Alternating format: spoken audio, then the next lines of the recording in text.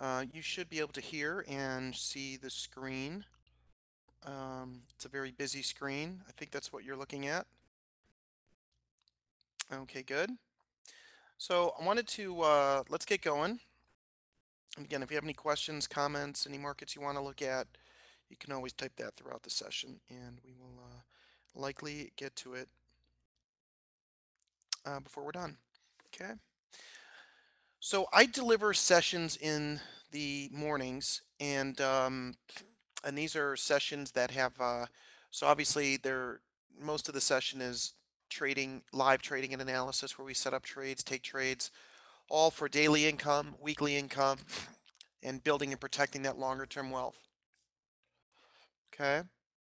So um, always applying the same rule-based strategy that I developed uh, many many years ago on the trading floor of the Chicago Mercantile Exchange right so it's all around supply and demand, meaning we are um, attempting to answer two questions, right? Where is market price, where are market prices going to turn and where are they going to go? To answer those two questions objectively with a simple set of rules, we focus on the market's real supply and demand, identifying price points where supply and demand is out of balance in a big way, where banks and financial institutions are buying and selling so that we can buy and sell there also, and we really focus on where you have pockets of significant unfilled buy and sell orders. That's where prices turn. And then we also look at a chart and clearly identify price levels where most of the orders are filled because that facilitates price movement. So that's how we answer the two questions. Where's price going to turn and where's it going to go? I wanted to start with a, a, screenshot that you see here. This is from one of my morning sessions the other day. And um, if you don't know who Paul Tudor Jones is, he's an interesting guy, um, very successful trader. And but the, uh, the the key with him is look at how he made money, right? He says, I believe the very best money is made at the market turns. Everyone says you get killed trying to pick tops and bottoms, and you make all your money by playing the trend in the middle. Well, for 12 years, I've been missing the meat in the middle, but I've made a lot of money at tops and bottoms. Does everybody understand that? Okay. Because there's always this push to just, you know, focus on the trend and, you know, uh, and stuff like that. And I'm not eh, saying there's anything wrong with trend. Just make sure you understand what the word trend means. The word trend means price is moving in one direction. If we wait for a big move up in price before we start buying, that's not low risk, high high reward and, and high odds, right? If we wait for prices to drop significantly till we have a strong downtrend in a way before we start selling short, that's not low risk, high reward, and high probability. You see what I'm saying? So what he's saying here, I'm just giving you very specific and simple rules around that. Okay. All right, let's move on to the price charts. So let me know, can you see um, uh, the charts now? Or do I have to reshare? I can probably reshare. Um, there we go. You should be able to see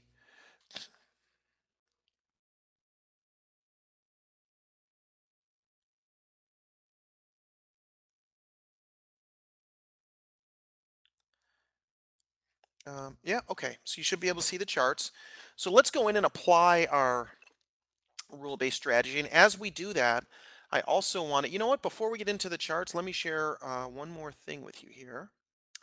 And um, give me just a second. I think this is really important. Then we'll just go and apply all this stuff.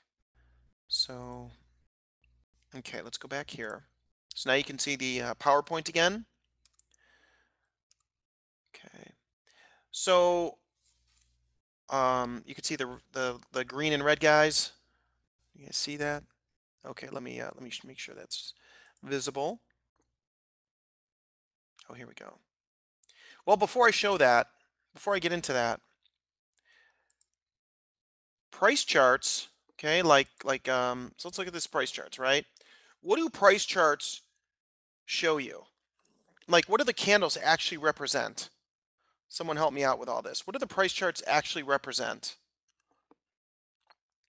Filled orders. When an order gets filled, you see it on the screen exactly. Um, what causes prices to turn though? Do filled orders cause prices to turn? Or do unfilled orders cause prices to turn? Right, here's a couple of our supply zones filled with unfilled orders. Right.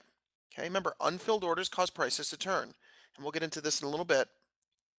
So if you think about it, not only does a price chart show us not show us what we need to see, it actually shows us the opposite picture of what we need to see. The price chart shows us filled orders, but who cares about filled orders, right? As far as prices turning. Prices turn at levels where you have significant unfilled orders, right? So again, not only does a price chart not show us not what we need to see, it shows us the opposite of what we need to see.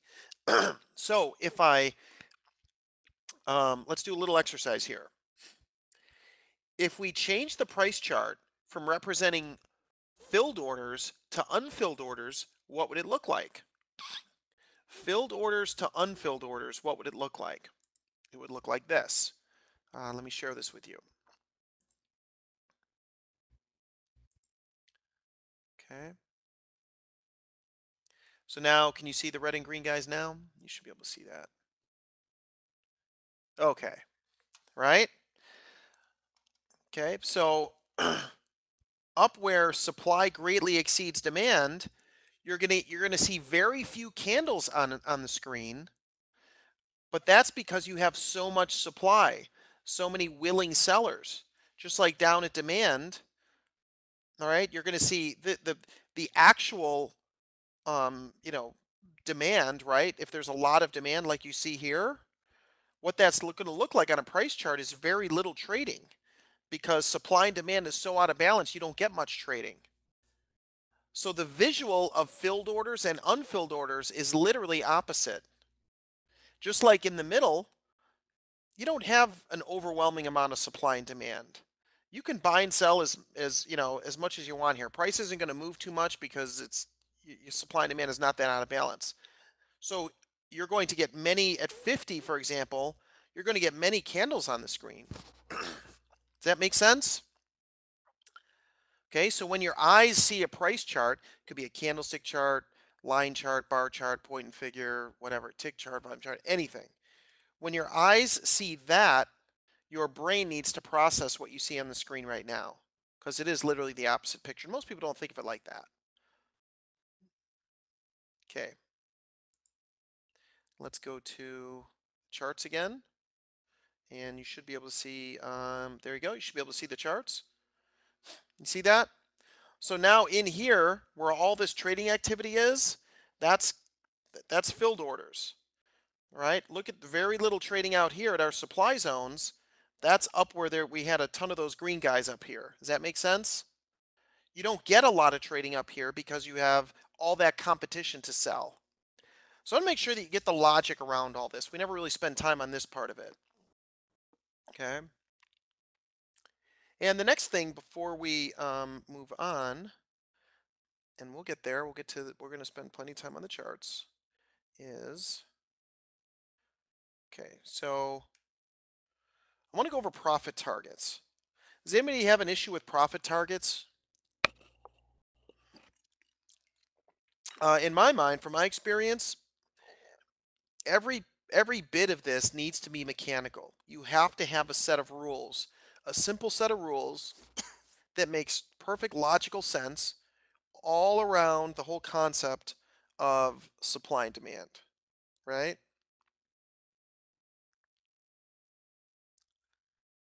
Okay. All right, so take a look.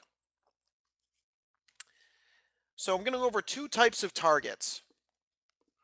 Take a look at the screen. Here we have our supply zone. This is an actual trade that we put out in the morning sessions. Um, here's a supply zone. We have our pattern, very little trading, strong drop in price from the level. Price then goes all the way down to here before returning back to the supply zone where we'd sell short. Okay, so think about it.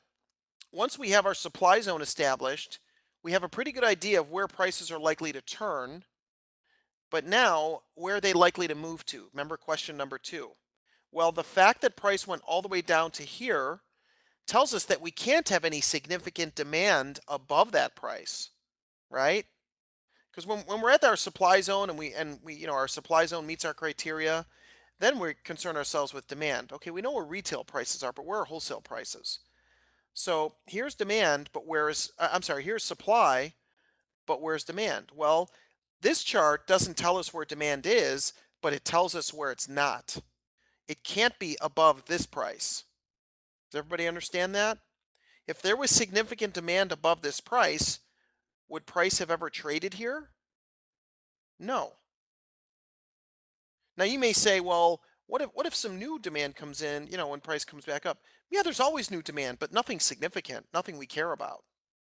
We want the whole my, the, my whole strategy focuses on okay, whole strategy focuses on where are significant banks, financial institutions, the big smart money buying and selling. All right? Okay. All right, makes sense? So, therefore, now how do we think about profit targets? There's two profit targets that we use. Um, we call them the easy money profit zone target and the big money profit target. So let me show you how this works. And that 90 should really be, um, I don't use 90, but let me let me go here for you. Um, I actually use for myself uh, 80. All right, just want to be really accurate for you. Okay, so there's two types of profit targets. Once you have a supply zone or a demand zone, you measure the distance from your proximal line here down to the low, whatever this price is. Okay, and then take a certain percentage of that. Okay, the reason why we don't want a profit target right here at the low is because there's likely to be competition to buy there, right? Demand turned price higher there, so there's going to be competition to buy. If we have sold short and we have to buy back our long position, we don't want to buy when there's competition to buy. We want to buy when there's competition to sell. Okay, so um, so therefore, you always want to take a percentage or a portion of your available profit zone. Does that make sense? So because the sellers were able to take price all the way down to here, right? Because supply exceeded demand down to this point. This group did all the dirty work for us so that when we get in, we want a very attainable target. So I'll I typically choose like 80% of whatever this is, and now it becomes very mechanical. And that's the easy money target. Okay, all that matters is where significant buy and sell orders are and where they are not. The big money profit target is uh, we want to look for the opposing demand zone. So let's focus up here. We have our supply zone. Here's price comes all the way down. Here's the low. So we take the distance between this proximal line and the low, and a certain percentage of that becomes our easy money profit target. But if you want to go for the bigger money profit target, you find the opposing demand zone, which, which in this case was right here. Make sense? Okay, and you go for the bigger move. Any questions on that? I know I'm giving it to you kind of quick here. Okay, um, I'm short this. Uh, this is a position I'm in right now, by the way. Um, the profit target for me is, let's see, it's 36. So just full disclosure. Um, I'm sorry, 37.50. So we need to go a little bit lower. And um, I'll always tell you if we're looking at a market and I'm in a trade, I'll, I'll tell you that. All right. So uh, this is the S&P. Now I can look at any market you want to look at. I want to, as we go into the markets now, I want to make sure that we apply, you know, some of what we've been talking about. Okay, supply, demand, the basics of, of the strategy, and then of course profit targets. So if you have markets that, if you have markets, um,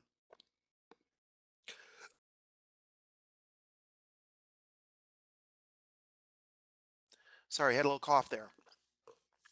If you have markets you want me to look at, just let me know. Otherwise, I have a pretty big list to uh, go through. All right, I don't know if we'll get to all of them, but let's see. oh, the Nifty. You know, I don't believe I get the Nifty on TradeStation. I've never tried, but uh, I doubt it. Um, okay, but we can look at, uh, yeah, no, we can certainly look at the, we can, anything. Let's go right to the currencies. Let's start with the dollar. If we're going to look at the currencies, we always want to start with the uh, with the dollar. So let's go to the dollar. The dollar hasn't really changed much uh, um, in um, in a bit.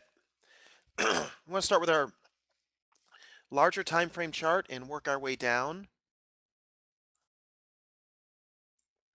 There we go. So let's do that. Here's our weekly chart of the dollar. And for those who have been with me in FX Street for uh, a number of years, you know, you know how much we focus on the dollar, right? The dollar is key. Okay. And right now, price is just wedged in between this demand and supply. Our new levels are above and below, but uh, obviously take quite a bit of time for price to get there. Um, coming down to the daily chart, there's not a whole lot more information there. So I want to bring you to the four hour chart. This is kind of the one we've been really working off of. And I'm assuming you can see the charts now. Um, not a whole lot to get excited about when we're in the middle. Okay, remember, and I'll share this with you. Okay. So you see where price is right now? And you see where our supply and demand zones are in the dollar? And those are our big significant ones. On smaller time frames, there's others. But you see where that is? Don't forget, in my mind, I always know where we're at here. So the dollar is somewhere kind of in here right now. Does everybody understand that? Your brain needs to be processing that constantly. In fact, that's really all that matters. Right?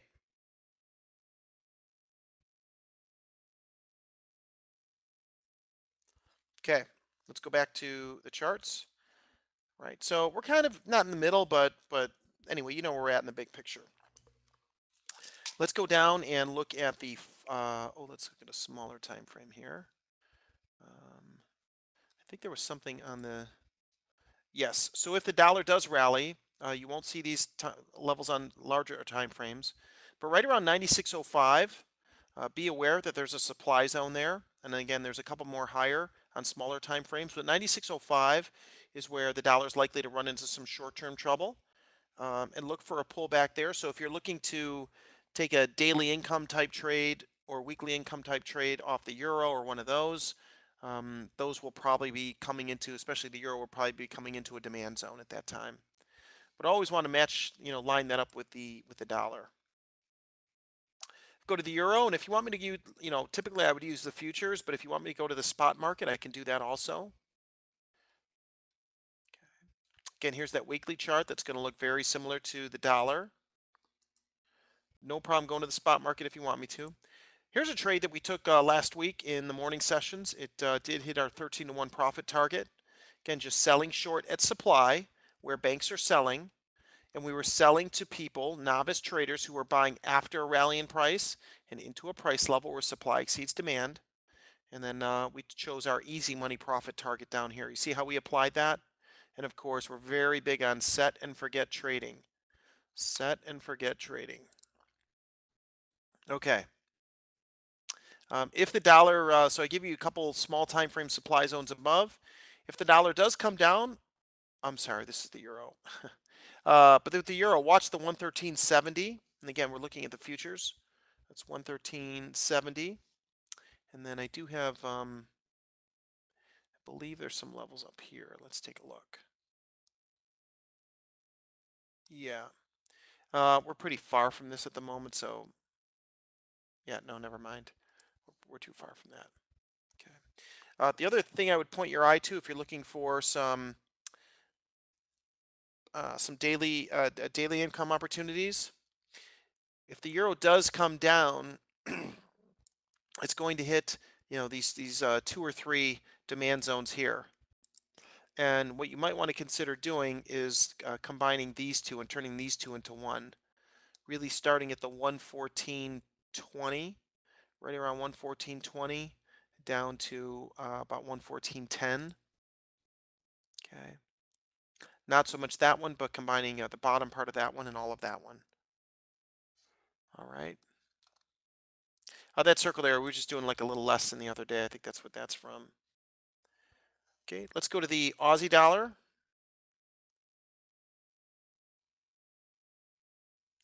And You know, we've been watching the Aussie dollar for a couple weeks now, just price, you know, trading up into this area. Uh, no surprise, it's it's uh, you know, we've been trying to position short here for the Aussie dollar. But if we come down to the 60 minute chart, I think you'll see uh, these are some fresh levels that are not that far from current price, starting at 72.66, and that's found on the 60 minute chart.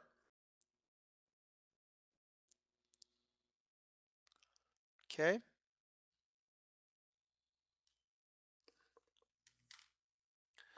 All right, no questions on that one. And you have like two or three levels on top of each other, but it's really not that big. Uh, it's not that huge of an area. And of course, watch the dollar if and when prices come into that area. And that those levels are sitting just above the highs. Now, if you think about it, look at that. So if the Aussie dollar does, does reach that 72, 65, 66 type area, it will have made a new, um, you know, a new high for the month, actually probably new high for a couple months, right? What do most people do uh, when when the market's breaking out to like a new high? Do they get bullish or bearish? What do most people do? They get bullish or bearish? Yeah, most most people around the world get bullish. All these bullish signals come out and everybody just starts buying. So now everybody starts buying, right? And now price reaches the supply, the supply zones, which is where you can fill those orders. Now the last buy order from those, you know, big breakout traders is filled. Uh, what's the next move in price? Up or down? Right? Yeah, down. Exactly. Down to where? Where's price going to fall to? Right. Yeah, demand. I mean, we just described how you know markets work uh, all the time. Okay, but most people play it wrong because they're not focused on what's real. They're focused on what they feel. Um, anyway, I think you get the point. Okay, let's move on to let's look at the yen. Let's see we had in the yen.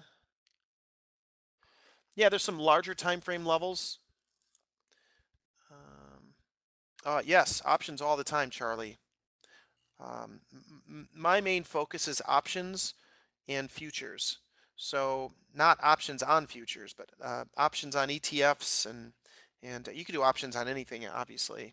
ETFs, some stocks, mainly ETFs, and uh, and then of course uh, you know, you can trade options on futures, forex, whatever. All right. And you could sell calls above supply. Um, are you talking about like doing some some some type of uh, spread, some like bear call spread or something? You can do that, um, but the better you get at supply and demand, the whole strategy, the more, yeah, the more you're wanna gonna want to sort of um, put a position on that really takes advantage of direction. You know, directionally just being right. In other words, you, the more you, the more the better you get the strategy, the more you're just going to use options as replacement for the underlying. Does that make sense? right. And for those that are new to options, there's really two ways that there's two types of positions overall that you can put on. A lot of people, most of the world says directional, non-directional. I don't I don't like to use those words because at the end of the day, is is there such a thing as non-directional trading? Right? Not really. I mean, uh, direction direction comes into play for everything. Trust me. Um, so I don't like to use those terms because they're not, especially that non-directional. That's not very real um, or realistic. It's attractive, but uh, but it's not real. So I find a better way to think about it is you're putting on a position that um, you know, where you, you a position that makes money because you think price is going to go somewhere, or the opposite position, or, another type of position, um, you're you're kind of betting that price isn't going to go somewhere, right? So there's positions, options positions that that you'll profit if price, you know, turns and moves in your direction. There's other ones where you're you're, you're profit if price doesn't go somewhere. Does that make sense? That's kind of a, a little bit better way to think about it because when you think non-directional trading, it's like, oh, direction doesn't matter. Trust me, it matters. Okay, you can't get away from that. But it's okay that a lot of people think you can. Um, that's uh, that's what makes a market. So if we look at the yen, we start with our larger time frame four-hour chart. The other day we got close to this demand zone at 91, uh, about 91.20. Didn't uh, didn't quite get there.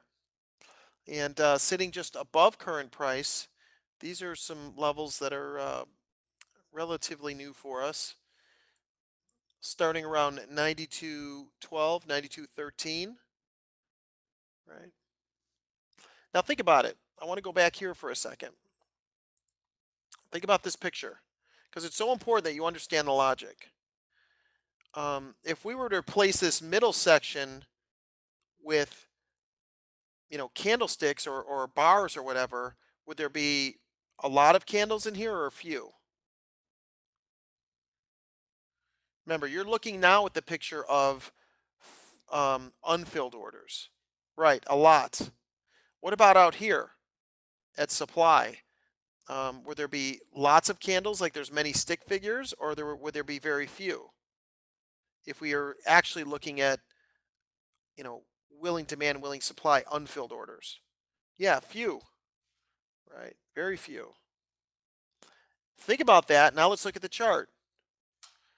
What does all this trading down here represent? Filled orders or unfilled orders? What does all this represent? Filled orders, yes. What do, what do these two pictures represent? Filled orders or unfilled orders? Yeah, right? Unfilled orders.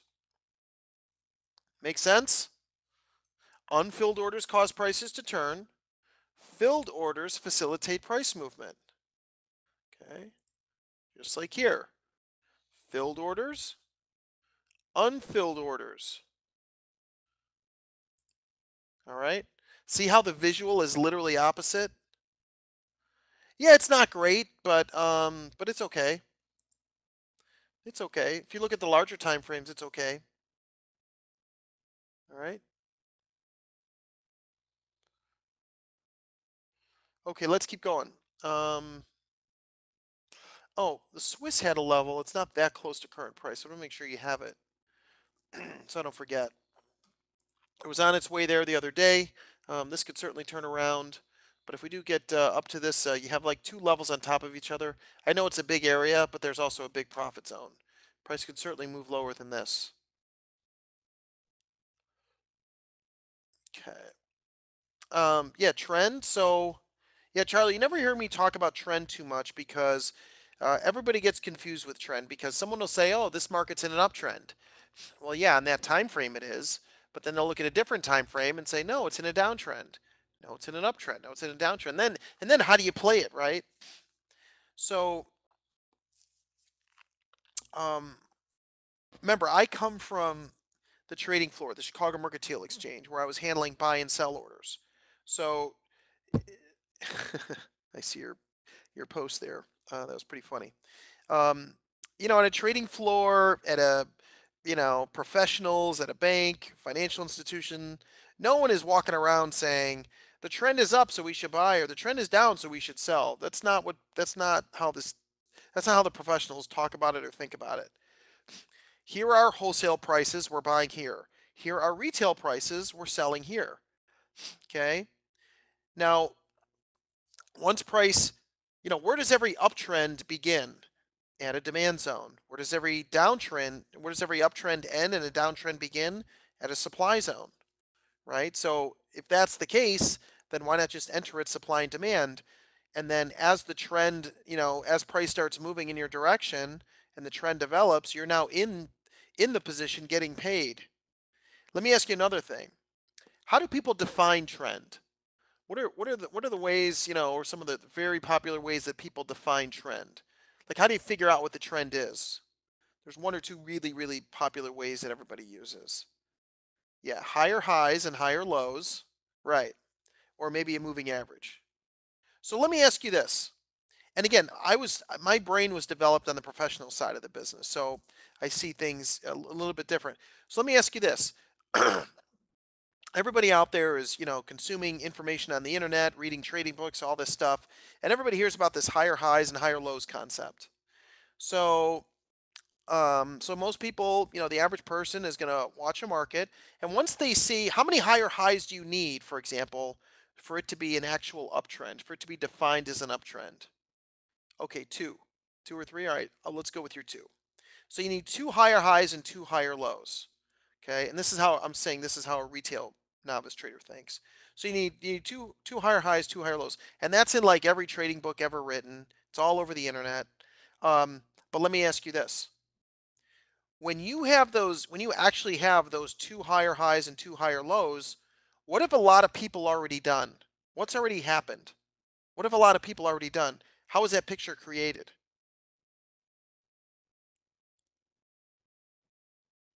Like, like what is, what have a lot of people already done to create that higher high and higher low picture? Right. They bought. You had a lot of a lot of buying took place to make that happen. So now you finally get the picture that you're waiting for, higher highs and higher lows. And now you're able, now the, the trigger, you know, eh, now you can go in and buy, right? It's like, okay, I have my higher highs and higher lows. Now it's time to buy. But you have to wait for that picture. Okay. If you think about it, why can't, would you like to be a part of that picture? In other words, that group that already bought, why does that always have to be somebody else? Like, why can't it be you? You see my point? Why does it always have to be some? Why do you have to wait for all these other people to buy and then you start buying? Or all these other people to sell and then you start selling? Look, there's a reason why most people are not successful speculating in the markets. Okay? There's a reason. It's because they, you know, I've said this a million times. How you make money buying and selling in, in the financial markets for daily income, weekly income, building and protecting that long-term wealth, how you make money there is exactly how you make money buying and selling anything else in life. Okay? Buy it wholesale, sell it retail. All of a sudden, though, when you come into the trading world, there's all this stuff introduced that has nothing to do with that, the basic concept of how you make money buying and selling anything. All these, all this goofy stuff, these chart patterns and and all this weird math and and trend and all all this other stuff, right? It's not that trend's not important. I love trend. When I'm in a position, okay, when I'm in a position, um, I'll show you this one here. Um, here we go. This is yesterday. And some of you may have been in my session yesterday morning. Um, the trend overnight in the S&P was down, down, down, down, down. We bought right here. I bought right here. Okay but the trend was down. By the time you had higher highs and higher lows, price is up here. Now everybody else starts buying, right? And now price is like up into here. Um, so I love that. I mean, I love trend because, you know, when people see that uptrend or downtrend, they're going to start buying and selling just like here. Okay. I told you I took a short position here. So, you know, once you get another lower high and lower low, now all the trend people are going to come in and pay those of us that are in the position already. Does that make sense? Okay, and I don't want to like beat this up too much. I just want to make sure I'm I'm here for you, so I want to make sure that you guys understand it. Okay. All right. Um, yeah, everybody's not looking. I see your your comment there. Everybody's not looking at the same zones. Um, and remember, here's a, here's another thing don't think that like a bank or financial institution is looking at supply and demand zones. They're creating the zones. All I'm looking for is where are the footprints of the smart money? People say, well, Goldman Sachs is never going to tell you what they're actually doing. No, maybe maybe it's not going to come out of their mouth, but I can see it on the chart. I can show you exactly where the smart money is buying and selling. You see my point? Yeah, it, yeah. So Ravi, so not yeah, obviously not every trade is going to work. Um, the majority should, and as long as you keep your risk reward in line, you're good. Okay. Um, but what you need to do, what most people, you know, are not good at and need to get good at, is identifying those real supply and demand zones. Okay. There's there's supply and demand all over the place. Obviously, every every price point has supply and demand, right? That's a market. What we care about is identifying those significant levels, right? Where again, the, the big smart money is is buying and selling. Does anybody have another market they want to look at? Uh, again, I have no problem going through my list. We can look at oil next. And um, here's a trade from the, uh, the the morning session yesterday, and we may have another opportunity here, where or this a couple days ago, price hit our supply zone, and that was um, that was the easy money target, and then here's the bigger money target. But um, you know, if price goes a little bit deeper into this upper zone, it looks like it already did that, and it's kind of peeling off a little bit. We might have a shorting opportunity there. And then um, uh, just a little bit higher, we do have some significant supply once you get above 54.50. Okay. Uh, yeah, we can look at the British pound. Let's do that. Um, we can look at the spot. Let's pull up the spot market. Okay. So, um, oops, let me see here. There we go. Let me uh, just change these for you so you can see it. All right, so you can see the pound is sitting in this level up here. Um, the uh, the supply zone. We've been back and touched it once. Now we've gone fairly deep into it. Um, but notice again, prices rallied quite a bit to get there, and now it's struggling. uh, Chris, I'll, let me get to that in just a minute. So that's a larger time frame. That's a four-hour chart of the pound, and um, uh, I don't know that we need to spend too much time on the daily chart, but uh, let's see what we have in the smaller time frames here for the pound. Yeah, the pound's been great. Um, yeah, so I would just focus on, you know, we've got that supply to the left. If price does fall, it does have quite a bit of room. Okay. So again, now's not the time, obviously, to buy the pound. If anything, you're going to short it up here. And you could see what, you know, you could see the weekly chart and all that, right? So we've been up here before. Just keep in mind, this is not a fresh area that we're into you have to go above 113.30. I'm sorry. Yeah, you have to go above. I'm sorry. Hold on a second. No, I'm sorry. You have to go above 130. Let's call it 133 even. You have to go above 133 even to get into fresh territory. In the bigger picture, if that's what you're asking uh, about. Yeah, so Chris is asking a good question. Is there any value using an indicator, maybe like RSI as confirmation we hit a supplier demand zone? The way you're mentioning it is the only possible way that I would consider using it. Meaning, you don't need um if you you know using any of those indicators on their own. I've never seen anybody make money doing that because until price reaches a supplier demand zone, it's not going to turn. But if but if there's a strong move up, all your overbought oscillators are going to tell you to be shorting and you're going to get killed doing that. So making your supply and demand zones your primary decision making uh, eh, you know the, the primary part of your decision making process and then adding something like an RSI or a stochastics or MACD or something um, looking for you know because at RSI it'll, it'll spit out sell signals all the time or buy signals all the time but when those buy or sell signals are given in at supplier demand, when you have a nice big profit zone, that's when you would want to take it. And it, Chris, it sounds like that's what you might be doing already.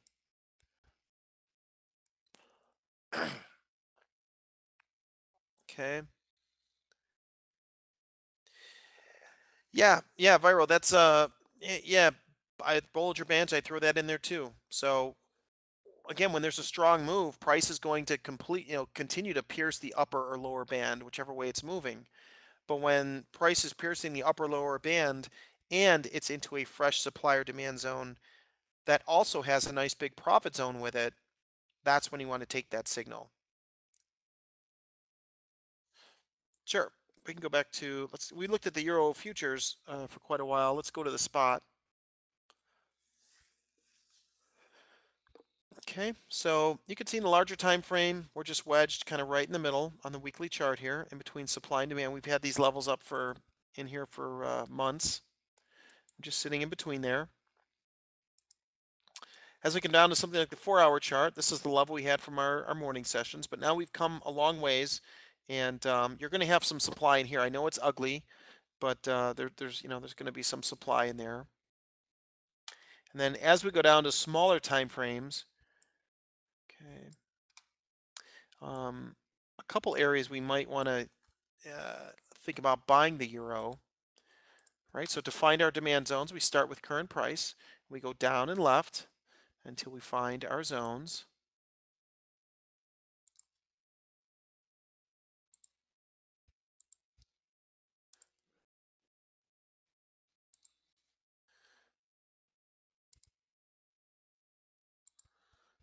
Okay, there's that. And that.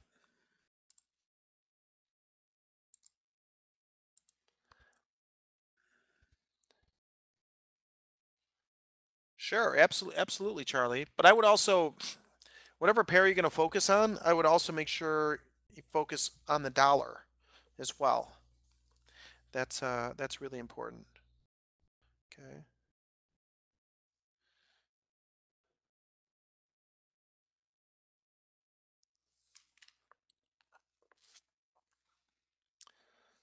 All right. So uh, in the euro, yeah, the uh, if you look at the 60 minute chart, we'd um, we have a couple demand zones sitting on top of each other. and notice too, price would have to travel quite a ways down to get there. So if and when prices get here, and should you choose to buy, you'll be buying from a seller who's selling after a big drop in price and into a price level where the chart is suggesting banks are buying. These are not um, very high quality levels, but they're okay. They're fine. And when I say that, I'm specifically thinking about our odds enhancers, which we don't have enough time to go over uh, today.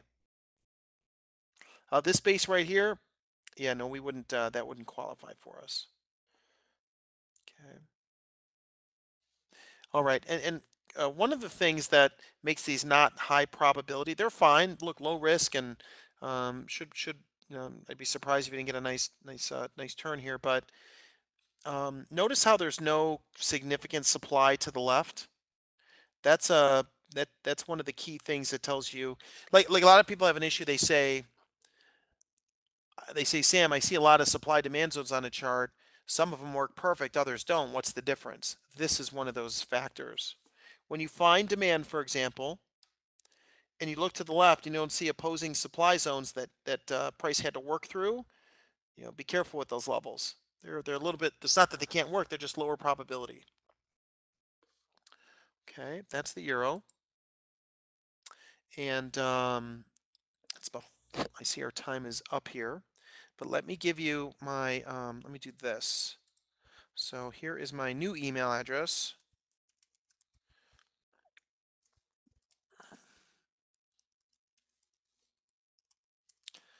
So it's sam.seiden at tradingacademy.com. All right. Yeah, Carla, all we're all we're saying here, look, is um, this is no, you know, again, how you make money doing this is exactly how you make money buying and selling anything in life. It's just wholesale and retail. I'm interchanging the words wholesale and demand and retail and supply and simply showing you what that looks like on a price chart. And um, I come from the professional side of the business. I, I, worked on the trading floor and for a big institution. And um, again, that's uh, I'm just showing what those orders look like on a price chart. Does that make sense? All right. Um, yeah, there's my email, sam.seiden at tradingacademy.com. Um, if you have any questions, let me know. All right, it was great to be with all of you, and we'll see you next time. I think we have another session coming up soon. And uh, yeah, see you next time.